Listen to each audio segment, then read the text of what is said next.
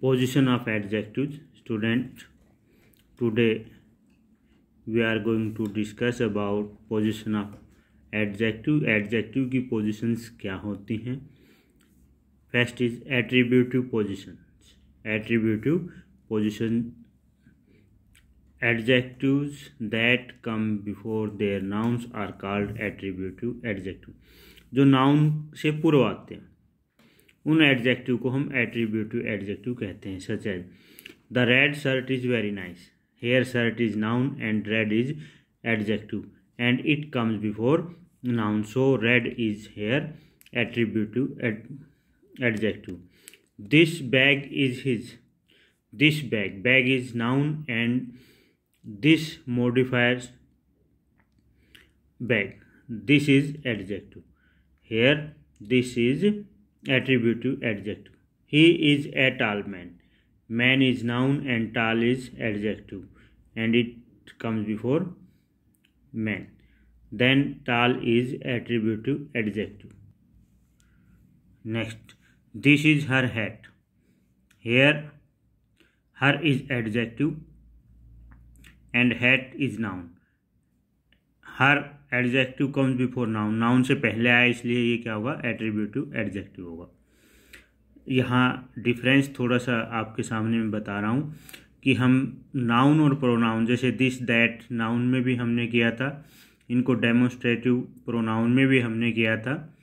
तो जब ये किसी की विशेषता बताए नाउन से साथ आते हैं नाउन से पूर्व आते हैं, तब ये होते हैं एडजेक्टिव और जब ये एज ए सब्जेक्ट या ऑब्जेक्ट आते हैं वर्ब कॉम्प्लीमेंट के रूप में या सब्जेक्ट के रूप में वर्ब के, तब ये काम करते हैं प्रोनाउन का। जैसे दिस इज़ हर हैट यहाँ क्या है ये सब्जेक्ट के रूप में दिया गया है तो यहाँ ये प्रोनाउन का काम कर रहा है। दिस हैट इज़ हर्स इसी को अगर हम इस प्रकार से लिखते हैं कि ये टॉप यहाँ नाउन से पूरा दिशा है तो ये क्या काम करेगा? एडजेक्टिव का। ये डिफरेंस है दोनों के अंदर कि ये कब जो है एडजेक्टिव होता है और कब प्रोनाउन होता है। नेक्स्ट इज़ प्रेडिकेटिव एडजेक्टिव जो पोजिशंस के आधार पे हैं, कहते हैं predictive that come after sorry adjective that come after the linking verb are called predictive adjective जो लिंकिंग वर्ब है, उसके बाद आते हैं, उनको प्रेडिक्टिव एडजेक्टिव कहते हैं। Such he is rich he is tall he is rich he is poor ऐसे बहुत सारी चीज़ें आती हैं। जैसे इज़ वर्ब के बाद में एडजेक्टिव है तो ये प्रेडिक्टिव एडजेक्टिव कहलाएगा। Mohan felt nervous felt verb के बाद एडजेक्टिव आया तो ये predictive adjective I am sorry am verb के बाद सॉरी तो ये जो है प्रेडिक्टिव एडजेक्टिव कहलाते हैं। तो इस प्रकार से हमने देखा पोजिशन के आधार पर एडजेक्टिव दो प्रकार के होते हैं। जो अभी हमने अध्ययन किया। नेक्स्ट है डिग्री ऑफ़ कंपैरिजन जो एडजेक्टिव होते हैं, उनको हम कंपेयर करने के लिए यूज़ करते हैं। तो उसके आधार पे कंपैरिजन की डिग्रीज होती हैं। First there are three degrees of comparison comparison की तीन डिग्री होती हैं। एन एडजेक्टिव कैन है जो एक एडजेक्टिव की हो सकती हैं। Positive comparative superlative first positive when an adjective describe और modifies a noun pronoun and does not make a comparison with others is in the positive form कहता जब एडजेक्टिव किसी नाउन या प्रोनाउन का वर्णन करता है, उसको मॉडिफाई करता है and does not make a comparison with others और दूसरों के साथ वो कंपेरिजन नहीं करता। क्या नहीं करता? वो कंपेरिजन दूसरों के साथ नहीं करता। ऐसी कंडीशन में वो क्या होगा? हमारा पॉजिटिव फॉर्म में। He is a punctual boy जैसे वो पंक्चुअल बॉय है, यहाँ पंक्चुअल जो वर्ड है, वो किसी से कंपेयर नहीं कर रहा है, सिर्फ़ बॉय को मॉडिफाई कर रहा है। Ram is a fat boy boy fat, Ram fat है।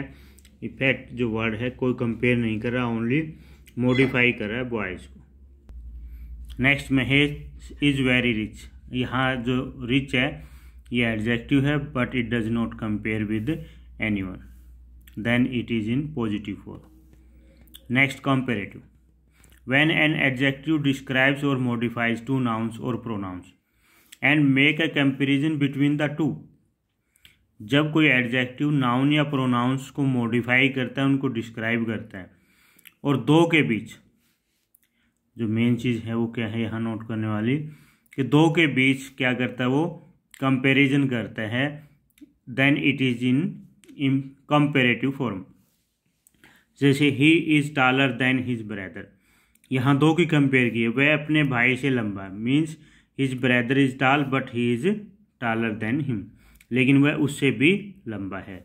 Mahesh is clever than me clever Mahesh मुझसे ज़्यादा चतुर है। मीन्स मैं चतुर हूँ, लेकिन महेश मुझसे भी ज़्यादा चतुर है। यानी ये क्लेवर जो वर्ड है, दोनों को मॉडिफाई भी करता है, उनकी विशेषताएँ भी बताता है और उन दोनों में कंपेयर भी करता है। Then it is in comparative form next is superlative form. When an adjective describes or modifies more than two nouns and make a comparison among the them is in superlative form. जब कोई adjective describe करता है या modify करता है दो से ज़्यादा नाउन्स को कंपेरेटिव में दो थे यहाँ दो से ज़्यादा हैं और उनके बीच में तुलना भी करता है कंपैरिजन भी बनाता है देन क्या है ये it is in superlative form more than two comparison जैसे he is the tallest boy in the group group में सबसे लंबा है। ग्रुप में कितने भी हो सकते हैं, दस, बीस, तीस, जितने भी हैं, सभी का बताया है कि वो क्या हैं? फैटेस्ट हैं। तो वो उनमें ग्रुप के जितने बॉयज़ हैं, वो सारे फैट हैं, लेकिन ही इज़ फैटेस्ट सबसे मोटा वो। It is the tallest building in the city शहर की जितनी भी टाल बिल्डिंग्स हैं, उनमें ये क्या है, सबसे टालेस्ट सबसे टाल है। तो यहाँ tallest compare more than two next non gradable adjective अभी हमने किया डिग्री ऑफ़ कंपेरिजन जिसको ग्रेडेबल एडजेक्टिव कहते हैं। But there are some non gradable adjective some adjectives do not allow degree of comparison इनमें डिग्री ऑफ़ कंपैरिजन नहीं होता, ये सिर्फ़ पॉजिटिव फॉर्म में होते हैं, कंपेरेटिव या सुपरलेटिव फॉर्म इनकी नहीं होती। They are called non gradable adjective for example this house is not complete यहाँ इसको हम कहीं भी सेकेंड फॉर्म कंपेरेटिव में या सुपरलेटिव में प्रयोग नहीं कर सकते।